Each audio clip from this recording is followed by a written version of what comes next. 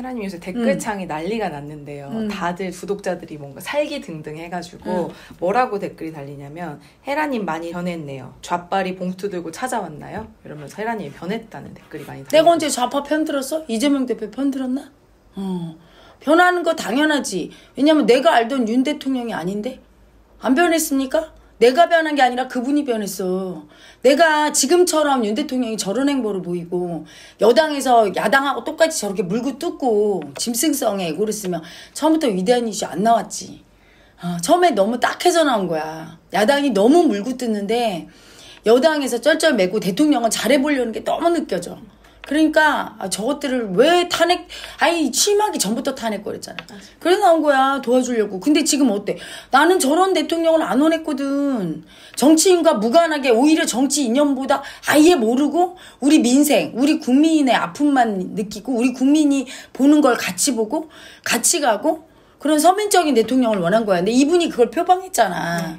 그리고 처음에 행보를 보면 되게 노력했고. 그래서 그게 너무 마음에 들고 도와드리고 싶고 그래서 나왔는데 지금은 뭐 뜬금없이 이념 전쟁을 하고 있고 국민이 답답하고 이런 사안은 하나도 소리를 안 내주시고 있고. 그러니까 나뿐이 아니라 중도 어, 층, 보수, 중도 보수로 저분이 정치인이 아닌 정치인이라 인문한 정치인이잖아. 그래서 신선하고 우리 국민과 같이 호흡할 수 있는 서민 대통령이 될 거라고. 굉장히 실용주의 노선을 걷고 우리와 아픔과 기쁨을 함께하는 대통령. 그런 대통령으로 뽑은 사람은 배신감 느낄걸? 그러니까 내가 변해서 좌파가 된 게 아니야. 난 여전히 이재명 대표 지지하지 않아. 또 이렇게 얘기하면 양비론이라고. 진짜 이런 양비론 너무 싫다. 반북이 이념입니까? 어이가 없네. 여자분들이 이래서 문제임. 안보관이 없으니 이런 소리 하시지요. 남자는 그래서 문제임. 그래서 조사모사 등신이 되는 것임. 아침에 바나나 세 개 주고 저녁에 두 개 주면 그거 아니면 아침에 바나나 두 개, 저녁에 세 개만 골라야 됩니까? 아침에도 세 개 먹고 저녁에도 세 개 먹을 수 있는 방법이 있는데 돌대가리인 거야. 양쪽 둘 중에 하나만 나보고 선택하라고 하지 마세요. 나는 차선책을 선택하고 싶지 않아. 예를 들어 선을 봤어. 두 남자를 만났어. 고르래. 둘 중에 하나 다 마음에 안 들어. 누구도. 그럼 다 버리는 거지. 그리고 제3자를 찾아야지. 왜 둘 중에 하나 선택하라고 하고 양비론이라고 합니까? 양쪽 다 싫으면 새로운 대안세로가 찾아야 되는 거야. 그게 안 된다고 믿는 닭대가리지. 그 왜 안 됩니까? 어, 이 세상에 훌륭한 분이 얼마나 많을 텐데. 둘 다 비판을 해줘야 제3지대 세력이 나와요. 이렇게 건전한 비판을 해야 돼. 싫으면. 둘 다 물러가라 하면 제3지대 진짜 국민의 아픔과 함께하고 실용적인 노선을 걷는 자기들끼리 권력 뜯어먹게 해서 세금을 그렇게 똥보를 차고 그렇게 뜯어먹는 걸 보면서도 가만히 내비두면 그게 정말로 올바른 정치를 하는 사람입니까? 나는 거기서 실망했어. 그렇게 날마다 기사를 까는데 세금이 그렇게 나와. 아니 나 같으면 국민투표 부의권 당장 발동해. 누가 들어도 합리적인 얘기지. 그렇게 세금 다 뜯어먹고 탕진하는데 국민은 허리웨게 내고 좀 줄여야 되잖아. 공무원 놀고 있고 호화청사 짓고 그런 거 안 해주면서 어디다 개혁을 됩니까? 근데 그런 거는 급해서 못 된다고 쳐도 국민과 호흡을 같이 안 해주니까. 그리고 양비론이라고 하면서 한쪽을 선택해야 된다고 믿는 자기 머리를 자기 닭대가리를 의심하세요. 아무 놈한테 시집가? 내 인생이 걸렸는데 우리나라 미래가 걸렸는데 둘 다 아닌데 차 악을 선택합니까? 자선책은 없네요. 최선책을 선택할 거예요. 이렇게 양쪽 다 잘못됐다고 얘기하면 제3지대가 나타나. 지금 살살 나타나려고 하잖아. 국민이 거기에 더 힘을 실어줘야지. 양 정당을 보면서 어느 쪽 잘하라고. 음, 힘들 것 같아. 난 여당한테 기대를 걸었는데 보니까 요새 하는 꼴을 봐서 힘들 것 같아. 날마다 싸우고 자기 권력만 어, 잡으려고 하지. 국민 국민한데 그분들이 얘기하는 국민은 그 우파 국민이야. 태극기 부대, 방공 부대. 나는 대부분의 다수의 선량한 국민들은 그런 이념과는 떨어져 있다고 봐. 어, 어떻게 하면 우리나라가 좀 더 안정되고 행복하게 살까? 어떻게 하면 이렇게 막 싸움판이 아닌 진짜 건전하고 평화로운 나라, 치안이 잘 되고 그래서 흉기 남동범 걱정 안 하고 그리고 정치인끼리 싸우는 꼴 안 보고 그리고 내 자식이 학교 가서 선생님한테 이렇게 잘 굽히고 선생님하고 소통이 잘 돼서 교육이 미래 세대가 잘 크고 이런 건전하고 합리적인 나라를 위해서 노력하고 거기에 머리를 맞대고 이런 정치인이 필요하지. 지금이 나라가 이렇게 올라났는데 이념을 갖고 싸우는 게 정상입니까? 나라가 편안하면 모를까. 너 엉망이잖아 어, 교사들도 지금 오늘 보니까 준법 투쟁한다고 올라가는데 그분들의 문제도 귀를 기울이고 같이 협의를 하고 이래야 될 시국에 다 지금 막 죽어나가 국민은 자살하고 힘들어. 있는 문제가 너무 많은 너무 많아 당면 문제가 그걸 다 버리고 철지나 옛날에 죽은 사람 흉상 철거해야 되느냐 뭐 이러고 있고 한 사람 시대로 돌아간 거. 그렇지 그리고 한 사람은 방탄한다고 단식하고 그래서 전 사실은 되게 정치에 관심 있으신 분들이 좀 의식 수준이 높고 이럴 거라고 생각했는데 사실 좀 실망을 많이 했어요. 위대한 이슈 하면서. 음. 왜냐면은 좌파 분들은 말할 것도 없고 우파 분들도 막 댓글을 달 때 보면은 윤석열 정부 편든다고 느껴지면 막 댓글에 찬양하는 느낌의 막 댓글을 달다가 헤라님이 조금만 이제 윤석열 정부를 비판하는 것 같으면 너나 떠들지 마. 아주 여자가 뭐가 그리 약에 받쳐서 저리 목청을 내 하면서 무시를 하는데 음. 너무 일차원적으로 무시를 하니까 수치가 진짜 많이 올라가요. 어, 그니까 뭐 논리도 아니고 여자가 이러면서 여자가 떠들지 마. 이런데 그따위의 사고방식 때문에 여자 맛을 물 거예요! 지금 여성 우월 시대인지 몰라. 그런 사람은 장가 가서 요즘은 어때요? 버림받아. 그렇게 이혼당하죠. 이혼당하지. 네. 바로 직결 처분이야. 기대를 하세요. 아침에 넥타이 메고 다 쓰레기 봉투 하나씩 들고 오는 거 모르나? 돈만 벌어져서 되는 게 아니야. 요즘 남자들은. 예전에 여자들 학대했던 거 다 받는 거야. 조선시대 때. 여자들 그렇게 학대. 요새 남자들이 불쌍하잖아. 그래서 이딴 식으로 댓글 다는 남자는 앞으로 장가가기 힘들어. 연세가 있으실 것 같은 느낌. 여자한테 그 느낌. 여자한테 잠밥 먹지.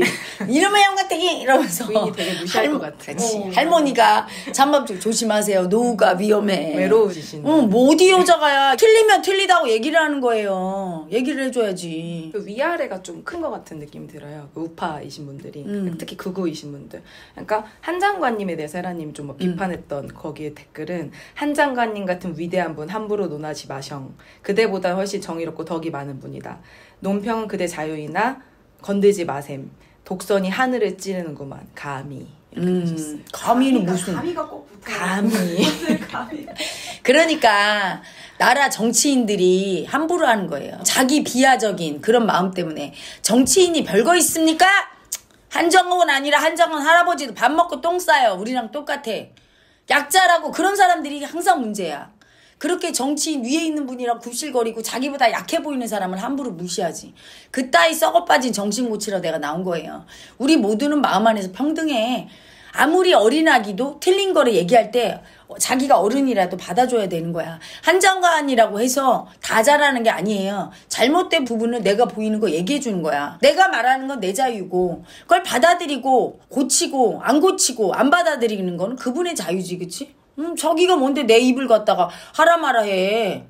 기분 나쁘면 자기는 한정관님 찬양하는 유튜브 만들어서 계속 떠드세요. 남의 입을 처막지 말고. 그 자기가 독선이지, 그치?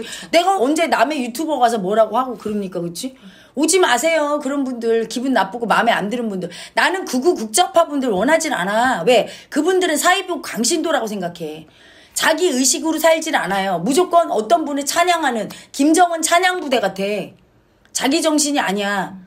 그런 분은 싫어. 그래서 나에 대한 비판글도 건전한 비판은 내가 받아들이고 아 이분이 이렇게 생각할 수 있어. 이렇지만 이런 식으로 감히 그러면서 닥쳐라 여자가 뭐 이렇게 얘기하고 이렇게 수준이 떨어지는 댓글은 안 보고 싶어. 오염돼요 눈이. 그래서 오지 마세요. 내가 언제 구독 꾹 이런 거 합니까? 안 합니다 나는. 그럼 필요 없어요. 그런 썩어 빠진 정신 때문에 나라가 이 꼴이 된 거야. 저렇게 둘 다 똥볼 차는데도 개딸들과 극우파들이 잘하십니다. 우리 이재명님, 어, 우리 윤 대통령님 이러면서 있으니까 정치인들이 안 고치는 거예요. 존경할 때 하고 존경스럽지 않을 때 얘기해야 되는 거지. 무조건 존경해야 됩니까? 대통령 되면? 참네. 장관 되면 존경해야 되는 거야? 야당 대표는 무조건 존경해야 돼요? 어, 요새가 어떤 세상인데 그렇게 얘기합니까? 마음의 세상, 평등한 세상이에요. 음. 그러니까 저희에 대해서도 음. 어젠가 댓글 달린 게 패널들 저희들이 음. 시장통 아줌마 같은 사람들을 모셔다 놓고 떠들게 한다고 뭘 모르면서 떠든다고 이렇게 또 댓글이 달렸더라고요. 아니 나는 솔직히 얘기할까요? 정치인보다 시장통 아줌마들을 더 존경해. 그분들은 적어도 건전하게 먹고 살고 누군가를 책임지려고 노력하고 그렇게 마음을 더럽게 쓰진 않아. 비열하진 않아. 수치가 세서 막 머리 잡고 막 싸우고 그지만 그것도 애교야. 그렇게 풀면서 살아. 그 모습이 더 아름답지 정치인들 모습이 아름답습니까? 위대 정치인들이 그따위 사고 방식 하니까 저런 어, 원숭이 새끼들 같은 정치인들이 안 사라지는 거예요. 등신 같은 것들이. 내가 나와서 얘기하는 거야. 그래서 어, 아무리 높으신 분들 등신짓 하면 등신일 뿐인 거고 병신짓 하면 병신이고 원숭이 새끼면 원숭이 새끼인 거예요. 어디 있다가 비교를 합니까? 그러니까 뇌물 받아 먹고 하는 게 사실 일반인 의식 수준도 안 되는 안 되잖아. 금 배지 달았다고 그럼. 지금 존경하는 거잖아요. 그렇지. 그게 얼마나 썩어 빠진 의식. 똑같은 의식이에요, 정치인과. 금 배지 달면은 무슨 짓을 해도 존경스럽고. 시장통 아줌마가 뭐, 당신 인생에 무슨 피해를 줬는데. 건전하게 벌어서 먹고 살고 있고. 정겹기만 하죠. 그렇지. 사랑스럽고 이쁘기만 하더만. 아이고, 닥치라고 하세요. 정치평론은 되게 엄청 똑똑하고 응. 대단한 사람들이 해야 된다고 생각하시는 것 같아요. 그러니까 정치에 대해서 맞아. 하나도 모르면서 입으로만 저렇게 떠든다 이런 댓글들도 많고. 그러니까 헤라님 마음에 안 들면 알고 떠들어라. 어. 모르면서 왜 얘기해요? 그리고 공부하셔라. 국가에서- 이렇게 많이 국가에서. 다 이유와 사안이 있기 때문에 다 생각이 있으시다. 거다. 생각이 있어서 나락골이 이렇게 됐어? 생각이 있어서 내가 나와서 이렇게 버럭버럭하게 했냐고. 내 말이 틀린 거 있으면 하나라도 얘기해요. 야당 지지자들은 돈봉투 먹는 게 정상적이라고 봐. 뇌물 받는 게. 그리고 야당 대표가 저렇게까지 단식하면서 찐따 부리는 게 정상으로 보이냐고. 여당 지지자들은 얘기해보세요. 어, 철지나 홍범도 흉상을 왜 갖다 왈가불가해서 싸움박질 일으키고 싸움질하는데 국민이 지금 아프다는 사안은 따로 있는데 저렇게 교사들 죽어나가는데 거기에 신경 쓰고 어? 그 무슨 구하라법인지 그거 통과도 하나 못 시키는 주제에 딴 거 갖고 싸움질하고 국민은 여기 아프다는데 딴짓하고 있어 부모가 아파 죽겠다는데 지들끼리 싸우고 그거 잘하는 겁니까? 그거 소리 내는데 뭘, 뭘 몰라? 뭘 모르는데? 뭘 알아야 되는데? 쓸데없는 거를 안다고 붙잡고서 쓰레기지 그게. 홍범도의 이력을 알아야 됩니까? 국민한테 물어봐. 홍범도 이력 몰라도 지금까지 잘만 살아왔어. 그렇잖아요. 그게 뭐 그렇게 중요해? 그 유- 본인들도 평상시에 중요하다고 생각하지 어. 않았던 부분인데, 그러니까 일본에 대해서도 일본 언제부터 본인들이 그렇게 친일했다고 음. 윤석열 대통령이 친일 행보하면 맞다. 이젠 용서해야 된다고. 홍범도 장군 흉상도 자기들이 언제부터 홍범도 장군 흉상이 있는 게 엄청 중요했다고 또 이제는 홍범도 장군이 무슨 짓을 했는지를 아니야 하면서 또 막 뇌피셜로 쓰면서 자기들도 잘 모를 거야. 그러니까 광신도 같아. 사실이 중요하지 않아. 그러니까 광신도 같아. 따라다니면서. 자기 의견이 있고, 그리고 거기에 너무 정치에 함몰되지 않으면서 자기 일을 해야 돼요. 나는 정치에 함몰돼서 평론만 하는 사람이 아니야. 나의 주된 직업은 어, 예술가고 예술 활동이고 더 근본적인 직업은 마음 공부인이에요. 돌을 닦아. 그래서 제자들을 키우고 올바르게 자기 삶을 살게 해요. 제 제자 중에는 정치, 경제, 사회, 문화, 교육 모든 분야에 다 있어요. 그런 분들이. 그래서 얘기를 하다 보면 정말 마음을 몰라서 다 썩어 있는 걸 내가 10년 동안 봐왔어요. 그래서 이제는 참다 참다 너무 썩고 골마서 어? 안다고 생각하면서 저렇게 하는데 저지랄로 합니까? 아무것도 모르면서 안다고 하는 사람들이 날뛰니까 문제예요. 어. 그래서 앞으로 그거를 마음 공부를 통해 개혁하려고 나왔어요. 지켜보면 알 일이에요. 나는 엄청 인내심이 강해요. 돌을 18년 닦았기 때문에 우리나라를 바꾸는데 앞으로 10년, 20년 바뀔 때까지 할 거예요. 되게 독해. 대통령은 단임제예요, 5년. 나는 아니야. 계속 유튜버를 하면서 국민의 의식을 환기시키고 하면서 바꿀 거예요. 그리고 말은 마음이에요. 마음 공부를 해서 마음에 힘이 실린 사람이 하는 말은 땅을 흔들고 하늘을 흔들어. 말로만 합니까? 뭐 이런 분들이 있는데 말이 시작이야. 말이 씨가 된다 이런 말 있죠? 비행기가 만들어진 건 어, 마음속에 아우 비행기를 만들어야 되겠다. 비행기 같은 걸 상상했고 그 마음이 입으로 나와서 난 비행기 만들 거야. 이게 시작이 돼서 만들어진 거예요. 말이 마음이 씨앗이고 그 마음이 이미 싹이 터서 입으로 나오는 거기 때문에 시작이 이미 된 거예요. 그래서 바꿀 거야. 분명히 이렇게 양당이 다 틀렸다고 내가 비판을 하면 제3지대에서 올바르고 현명한 분이 나올 거라고 믿어. 왜 바나나 3개, 4개를 아침, 저녁으로 바꿔주는 둘 중에 하나를 선택해야 되는데. 나는 아침에도 바나나 10개 먹고 저녁에도 10개 먹고. 그러고 싶어요. 그런 사람 나타날 거야. 우리 국민들은 그걸 믿어야 돼. 왜 양당 아니면 안 돼? 저렇게 등신 같은 것들만 있다고 생각합니까? 우리나라에? 그렇지 않아요. 얼마든지 현명하고 지혜로운 분들이 있다고 보거든. 이렇게 소리를 내면 제3지대에서 우리 국민만 보고 자기 권력 안 보고 저렇게 싸움질 안 하고 날마다 민생만 쳐다보고 우리와 아픔을 함께할 분들이 분명히 나타날 거고 그런 세력과 제가 힘을 실어주고 지켜주고 소리낼 거예요. 나는 국민 편이야. 다수의 선량한 국민, 일부 몰지각한 광신도 국민 편이 아니고 진짜 나라 걱정을 하고 진짜 양식이 있고 합리적인 국민들을 위해 소리내는 거예요. 그분들이 소리를 안 내고 있어. 그래서 그분들 모이라고 소리내는 거예요. 그분들이 정책 염증을 느껴. 맨날 저런 식으로 지랄거리니까. 아예 안 봐. 그리고 극우 국자파만 막 정치에 막 몰입해서 하루 종일 정치꾼이야. 그런 분들은. 그런 분들 원하지 않아요. 우리 위대한 유슈는 합리적인 중도 보수, 중도 진보. 남의 의견도 경청할 줄 알고 여러 가지 의견을 내고 그러면서 마음으로 타협할 줄 아는 양식 있는 분들. 그리고 정치인에 대해서 무조건 위대하십니다. 어? 수령님 위대하십니다. 먹구름 위에 빛나는 태양. 먹구름 위에 빛나는 태양. 이런 거 안 하시는 분들, 응? 그런 거 안 하시고 건전한 비판과 건전한 칭찬과 건전하게 힘을 실어주려고 하는 그런 양식 있는 올바른 정치인을 원하고 성실하게 자기 삶을 사는 분들을 원하지 구독자분들로 날마다 정치 편향이 돼서 나한테 박수 쳐달라고 하는 박수 부대를 요구하는 분들은 저를 떠나세요. 여긴 제 유튜브 채널이에요. 본인이 원하는 그런 한동훈 장관, 윤 대통령, 이재명 대표, 뭐 정청래 의원 빨아주고 싶은 정치인이 있으면 본인의 유튜브를 개설해서 하세요.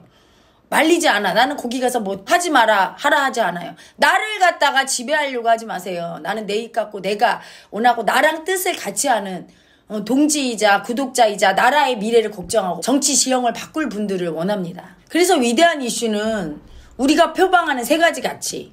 첫 번째, 세금 개혁해서 50% 세금 줄이고, 작은 정부, 정부 축소해서, 그리고 모든 공무원들 구조조정하고 해서 반으로 가볍게 줄이고, 그래서 세금 개혁하는 이란과 이안은 저렇게 거대 양당으로 싸워서 지들 뭐 처먹겠다고, 권력 뜯겠다고 하는 양당 해산하고, 그리고 1인 1당 체제처럼 100분의 국회의원, 양식 있는 국회의원 천거해서 모시고 세 번째로는 마음 공부를 도입해서 모든 국민들이 자기 마음을 알게 해서 이런 범죄로부터 국가를 예방하고 올바른 미래 세대 교육을 건전한 가치관 형성을 하고 요 세 가지 정책을 이슈로 내걸고 정치를 하시겠다고 하시는 분이 있으면 같이 연대하고 그분을 밀어드리고 그게 실현되는 날까지 절대로 꺼지지 않는 촛불이에요. 횃불도 아니야. 촛불이지만 절대 안 꺼질 거예요. 미약하지만 그 약한 힘이 얼마나 큰지를 보여주는 그런 채널이 될 거예요. 10년, 20년. 그게 이룩되고 우리나라 모든 국민이 정치 지도자, 대통령이 누구인 줄도 모르고 너무 행복해서 그냥 자기 삶을 사는 그날까지 소리를 계속 낼 겁니다.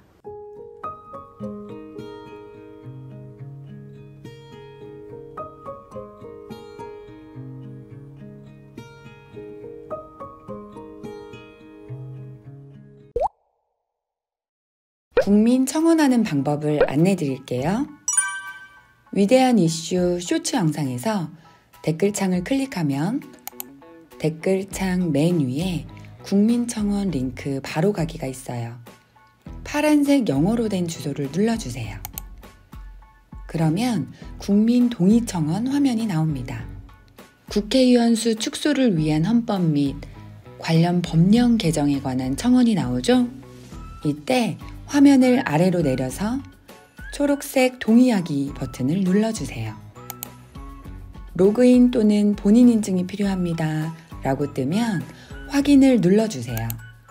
그러면 본인 확인 페이지가 나타나고 여기에서 비회원 인증하기를 눌러주세요. 그리고 휴대폰 본인 인증을 눌러줍니다. 이용 중인 통신사를 선택하고 아래 모든 항목을 체크해주고 시작하기를 눌러주세요. 그러면 다음 화면으로 넘어가는데요. 여기서 잠깐! 여기에서는 바로 이름을 입력하지 말고 아래에 보이는 문자로 인증하기 버튼을 눌러주세요. 다음 화면에서 이름, 주민등록번호, 본인의 휴대폰 번호를 차례로 입력해 주면 돼요. 그리고 확인을 눌러주면 휴대폰으로 문자 메시지가 도착합니다. 받은 문자 메시지의 숫자 6자리를 입력하고 아래 확인 버튼을 누르면 인증되었다는 메시지가 뜹니다. 여기에서 확인을 눌러주세요. 그러면 동의 진행 청원 화면이 뜨는데 다시 화면을 아래로 내려서 동의하기 버튼을 눌러주세요.